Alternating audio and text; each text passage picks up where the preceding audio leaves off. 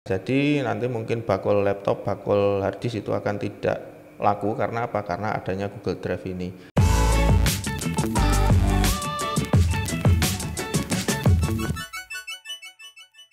Ya oke, okay. Assalamualaikum warahmatullahi wabarakatuh Teman-teman ngopi tutorial di mana pun Anda berada Selamat datang di channel saya Channel seputar pendidikan dan eh, tutorial-tutorial uh, yang mungkin bisa bermanfaat buat teman-teman semua Pada kesempatan kali ini kita akan belajar tentang bagaimana cara menggunakan uh, Google Drive desktop ya Seperti itu. Nah di mana nanti manfaatnya kalau kita menggunakan Google Drive desktop uh, Saat kita backup file maupun apa nama isi dari komputer kita itu tidak perlu membutuhkan hard disk eksternal.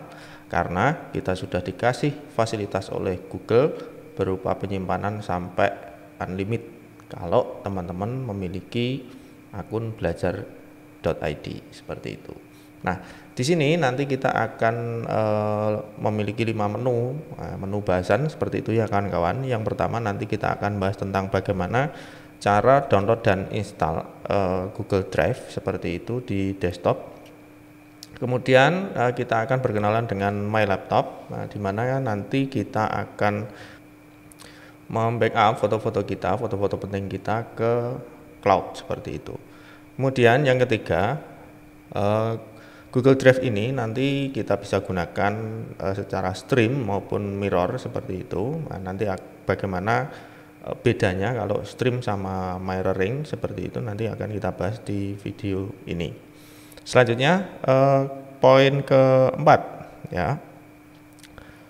Kita akan bekerja secara offline di Google Drive, nah, di mana nanti kalau tidak menemukan jaringan, apakah kita tetap bisa bekerja eh, dan mengakses Google Drive? Nah, temukan jawabannya di video ini. Dan kemudian menu terakhir nanti adalah kita akan belajar tentang bagaimana eh, sebuah file itu berhasil ditransfer atau tidak nah, melalui fitur pause, sync, dan error log seperti itu.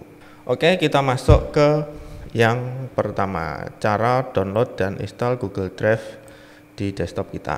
Nah, pertama-tama nanti teman-teman di sini tinggal ketikkan aja Google Drive for desktop seperti itu ya. Nah, seperti ini Google Drive desktop. Nah, teman-teman enter saja. Nah, kemudian Nanti teman-teman pilih bagian paling atas ini, download Google Drive seperti itu. Nah, kemudian di sini ada pilihan download drive untuk desktop. Nanti teman-teman tinggal klik aja dan download. Nah, jangan lupa downloadnya nanti ditaruh di tempat yang aman. Nah, di sini karena saya sudah mendownload ya seperti itu kawan-kawan, nanti tinggal uh, install saja ya untuk mempersingkat tutorial ini. Nah, kita buka aja di mana uh, file itu kita letakkan seperti itu nah kita cancel kita masuk aja ke download seperti itu. Dan di sini sudah muncul Google Drive setup seperti itu. Nah untuk penginstalannya seperti biasa nanti teman-teman tinggal uh, open atau run as administrator seperti itu. Nah kita pakai run as administrator saja dan ikuti langkahnya sampai selesai seperti biasa.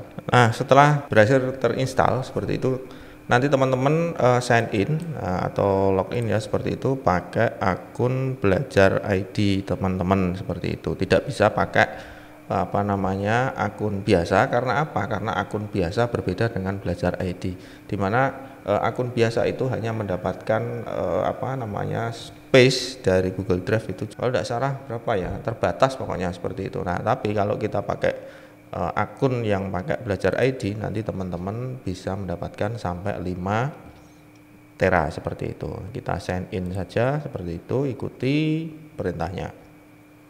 Nah kalau sudah muncul tampilan seperti ini berarti teman-teman sudah sukses ya teman-teman.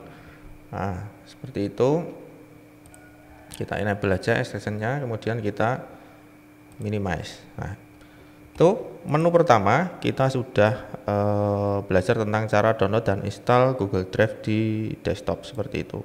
Nah, kemudian yang kedua uh, apabila apa namanya Google Drive sudah terinstall itu ada beberapa uh, icon seperti itu yang yang bisa teman-teman apa namanya lihat di desktop teman-teman dan di sini ya di pojok kanan bawah itu sudah ada muncul tampilan Google Drive seperti itu.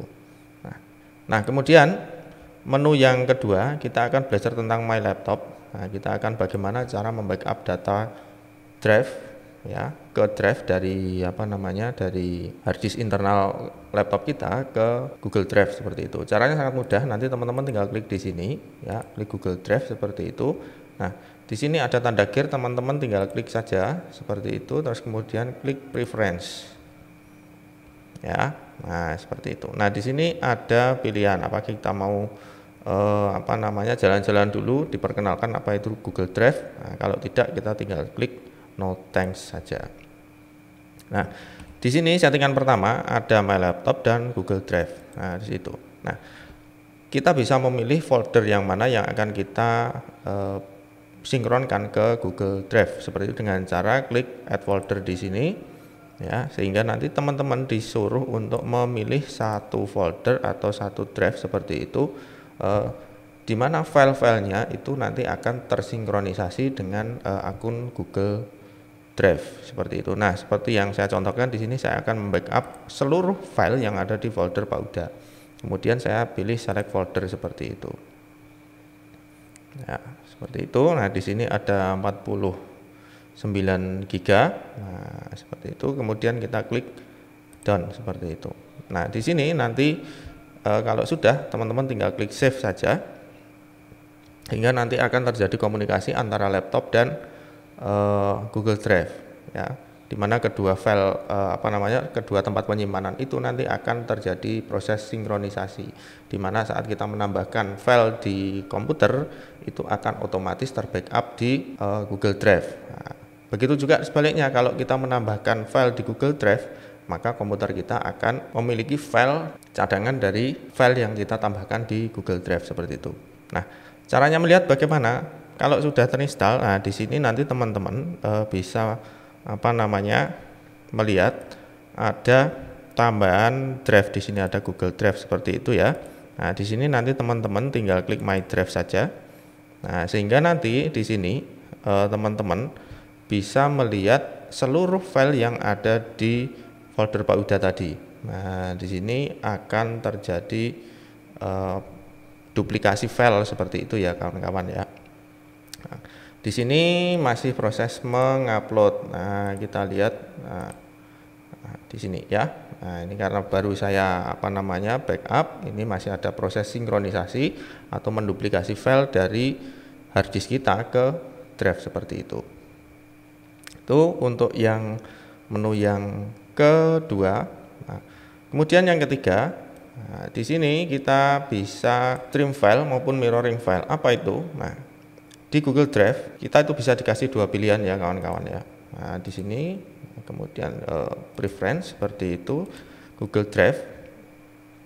Nah, di sini ada dua pilihan My Drive Sensing Option, opsi pensinkronisasian drive saya seperti itu. Ada dua cara untuk mensinkronisasi uh, isi dari My Drive dari Google Drive ke komputer. Yang pertama adalah stream file, kemudian yang kedua adalah mirror file. Kalau kita memilih stream file, ya stream file itu artinya seperti kalau kita lihat uh, YouTube seperti itu ya. Jadi filenya itu ada di cloud, kemudian kita hanya me menampilkan di komputer kita. Nah, bedanya kalau mirror file ya benar filenya itu ada di cloud, cuman nanti kalau kita pilih mirror file nanti teman-teman di komputernya juga ada file tersebut. Nah, ini nanti akan sangat bermanfaat saat kita gunakan e, untuk bekerja secara offline seperti itu. Nah, di sini kalau kita klik OK tadi, ya, teman-teman bisa stream atau mirror seperti itu ya. Kita confirm seperti itu. Kemudian kita klik save. Kenapa saya pilih mirror? Karena itu tadi selain kita mendapatkan filenya itu ada di komputer kita juga ada di uh, drive seperti itu. Jadi kita semacam punya backup dua tempat. Satu di hard disk satu ada di cloud seperti itu ya. Nah ini kita save saja seperti itu. Ya, kita kemudian restart. Nah setelah terrestart uh, Google Drive nanti bisa kita buka lagi nah, sehingga settingan yang kita inginkan itu sudah berpindah ke mirror file seperti itu. Nah Kemudian menu yang kelima, nanti kita juga bisa bekerja secara offline di Google Drive. On, offline maksudnya bagaimana? Jadi saat kita itu tidak mendapatkan jaringan, nanti teman-teman masih bisa tetap mengedit, menambahkan, mengurangi, menghapus dan lain-lain tanpa menggunakan jaringan internet. Ya, jadi nanti teman-teman jangan bingung, nanti berarti kalau sudah disimpan di cloud, artinya kita harus punya koneksi untuk mengedit, membuka dan menghapus misalkan. Nah, di Google itu sudah dikasih apa namanya istilahnya fasilitas yaitu bekerja secara offline di mana kalau kita membuka file dari komputer kita ini ya membuka file mengedit menambahkan mengurangi menambahkan folder di apa namanya uh, folder yang sudah kita upload tadi atau folder yang sudah kita backup nanti kalau sudah dapat koneksi internet maka antara hard disk dan uh, drive itu akan terjadi proses sinkronisasi seperti itu. Jadi masih tetap bisa bekerja, masih tetap bisa digunakan, masih tetap bisa dipakai ya selama kita tidak memiliki jaringan internet. Kemudian kalau sudah mendapatkan internet, nah, nanti akan terjadi proses sinkronisasi. Jadi kita tidak perlu copy paste dari uh, hard disk ke Google Drive seperti itu. Secara otomatis nanti akan ter duplikasi ke Google Drive. Nah, itu poin yang keempat. Ya, kemudian yang kelima, pausing dan error log. Nah, di sini nanti teman-teman ya segala menu bisa kita buka di sini. Ya. Kemudian pada menu gear yang ada di Google Drive nanti teman-teman bisa mempause semua proses sinkronisasi. Ini bermanfaat saat bagaimana? Nanti kalau teman-teman membutuhkan jaringan internet yang cepat sementara eh, bandwidthnya itu terbagi antara proses upload, proses sinkronisasi dengan eh, saat kita bekerja di mana kita membutuhkan apa namanya istilahnya prioritas untuk bekerja, maka kita bisa pause dulu. Maka semua proses sinkronisasi itu akan terhenti seperti itu ya nah sehingga kita bisa bekerja dengan lancar menggunakan bandwidth yang uh, penuh. Seperti itu ya kan kawannya nah di sini juga ada error list. Nah sementara di sini belum ada error list. Nah, error list di sini itu adalah e, nanti akan ditampilkan file-file yang tidak berhasil terupload ke Google Drive. Seperti itu. Ini masalahnya apa? Karena yang pertama hasil sharingan dari orang lain supaya tidak terjadi duplikasi maka itu kan masuk error list seperti itu. Ya, itu dulu yang bisa saya sampaikan ke teman-teman ya. Jadi nanti mungkin bakul laptop, bakul hard disk itu akan tidak laku karena apa? Karena adanya Google Drive ini. Sehingga kita tidak perlu backup secara bulanan, secara mingguan ke Google Drive, copy paste, copy paste seperti itu dengan fasilitas Google Drive ya for desktop terutama itu proses sinkronisasi akan terjadi secara otomatis. Nah, itu dulu yang bisa saya sampaikan. Terima kasih sudah menyaksikan. Jangan lupa klik like, komen, dan subscribe serta share ke seluruh teman-teman semua. Kalau video ini teman-teman rasa bermanfaat dan bisa memberikan energi positif ke orang lain seperti itu. Terima kasih sudah menyaksikan. Saya Khairul Huda. Salam ngopi tutorial seruput dulu